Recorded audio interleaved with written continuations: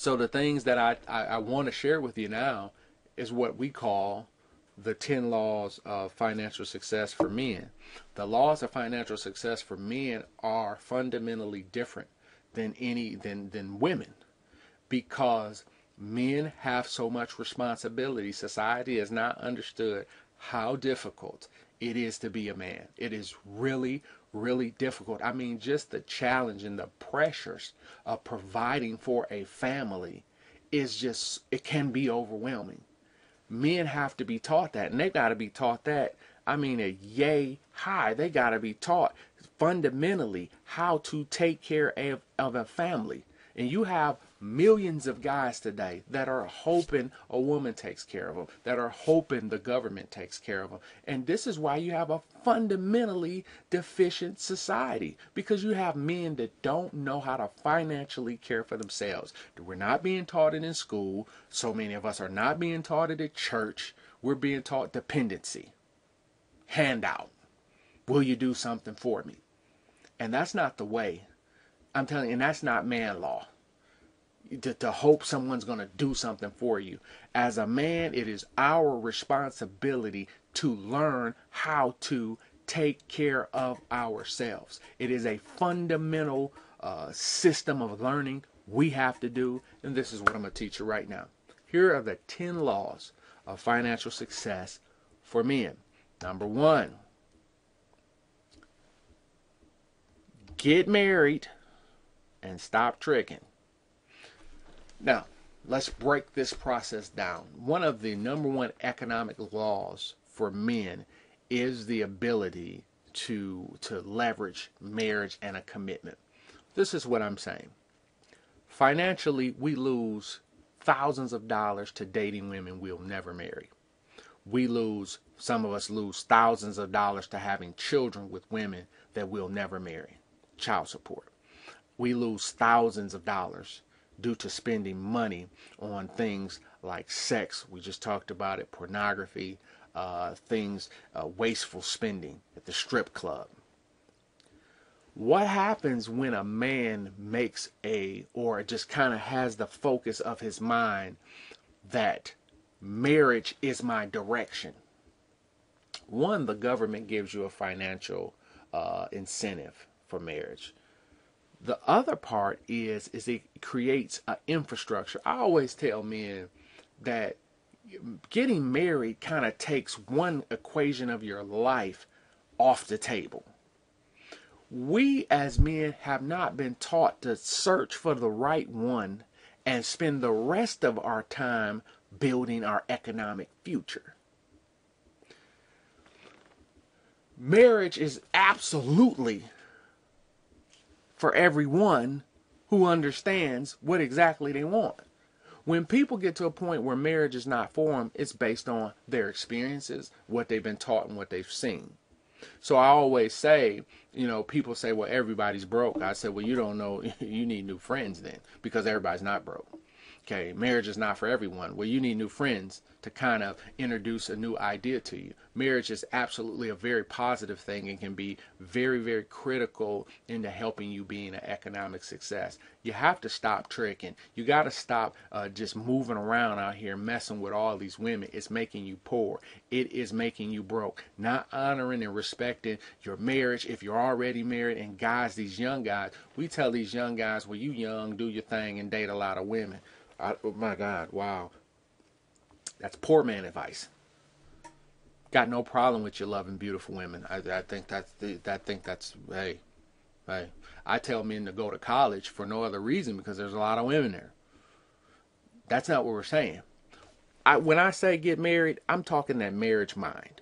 I'm talking about a person who's looking at things from a really serious perspective to understand that women are not a joke. There's a lot of beautiful women around. There's a lot of opportunities to do things, but it's the business mind, the marriage mind that I am looking to find the right woman for me and bring her on my team, and we're gonna build this uh, our financial success together. Now, people always say things don't work out the way you planned them. Here's the hook what I'm saying is a lot of folks, a lot of men have not been taught how to be married. This is why they fail. And a lot of things that go on in marriage, we are responsible for, even though we didn't do it. See, that's what I'm talking about about male success. It's a lot of stuff we're being held accountable for we didn't know. It's a lot of stuff that we're being asked to do that we weren't taught to do. And so we come to the marriage deficient and it ends up costing us our marriage, the person we love. Typically, most guys are in love with that first wife. Typically. That's a true statement. But youth, lack of counsel, impulse, bad choices, gets us beat and we lose our family.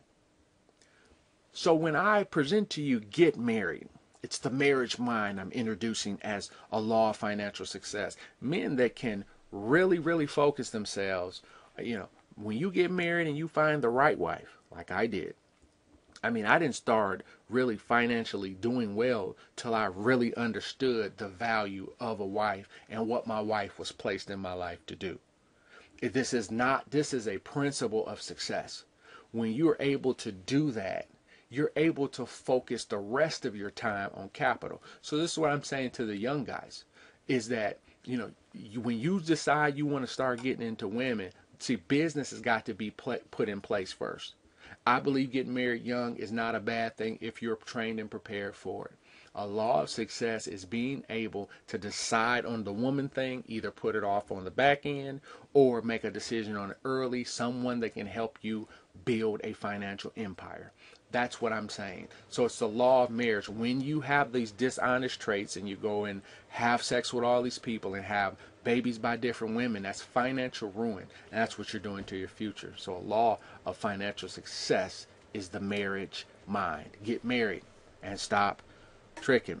Number two, you've got to choose better friends. People who have these. I don't understand how so many of these athletes, you know, they get to be to be rich and entertainers and rappers, but they bring the hood with them. They bring all their old broke family members. They bring all their old broke friends. Well, listen, you got to think this stuff through. People say, "Well, you selling out and you changed." Well, I would hope so. I would hope so. I would hope you figure that out. You know, you got to choose better friends. Either you're going to be the person, you, and this is what's key and critical to understand. You cannot help your friends change. You can't help your family members change. You can't. What you do is you can introduce some new thoughts, but you are not responsible for anyone but yourself. And it's not your job to take care of anyone but yourself. You're going to need better friends if you want to be financially successful. Guys that hang with broke people will be broke. If you are saying, I just got rich, but all my family is broke and I'm going to bring my people up, unless you're introducing education to them to change their life, you are a crutch and you'll all end up broke. You need better friends. So remember, you can't help them. You can introduce knowledge to them and let them take it. If they don't take it, it's not your responsibility. And there are so many men that feel, I don't mean guys that don't even have money, feel economically responsible for their mother. You have athletes to make it to the league, the first thing you're going to do is buy your mother a house. I, I, I, can't knock any of that, but how many people have lost everything they have because of these commitments to their family and to bad and old friends? It's been more of those. We know what we're talking about. You got to choose better friends. You have to make some draw some lines in between family. Guys who cannot differentiate between friends and family, good friends and good family, uh, people who suck them dry, who suck their time dry, who suck their money dry, are going to always be broke. A law of financial success is to choose better friends and better differentiations between family members because this is key and critical. There are some people that are here to borrow and suck you dry and to be a financial burden. And it's your job to make better choices in this area. Number three is to set financial goals. Without financial goals, you don't have a future. So many, you know, less than 3% of the population has financial goals. Without financial goals, you have no financial future. You have to have written financial goals. You have to have, uh, they have to be written down, they have to be documented. Without them, you don't have a future. Financial goals are critical to anyone who wants to be successful. Until I started writing my financial goals, I was just out here hoping to get rich. I was just out here hoping it worked out. That's not how it works. You got to have goals. You got to know exactly what you want to do. I mean, the other day, I literally, I literally went over the next uh, 21 years of my life because I have three kids that I want to set endowments for, and I know how much money I have to save every year for each kid to give them what their dad wants to give them. Okay, to start them off with that stipend, to start them off with a free college education, to start them all off with a vehicle, a new vehicle, to start them all off with a house, and to start them all off with a pay for a wedding. That gives them the ultimate start in life. And this is so I had to calculate it out. And the numbers were like little, I got three littles. So I knew how much time I needed for one, I have 17 years. For the other two, I got 19. Okay? So I had to, my goals had to be set out. I know how much I need for me and my wife. And so that's a part of goals and setting these plans.